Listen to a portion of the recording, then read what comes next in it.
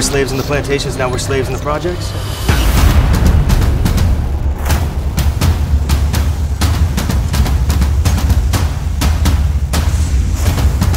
Why'd you stop me? Is this your vehicle? Well, we can't drive our vehicles around here no more without getting pulled over. Go ahead, fool. Turn the neighborhoods into jungles. Pull the trigger.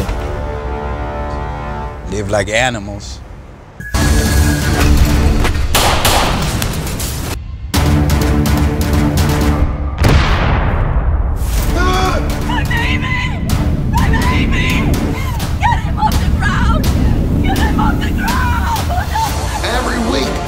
Somebody's getting shot out here.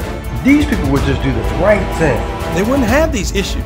You can't get involved with things like politics, poverty, race, or religion. We stand here today as mothers and fathers and sisters and brothers of our young men. Riots have broken out all across the nation. We have to separate ourselves from this gangster element. Doing justice and showing God's tender mercy begins with the preacher.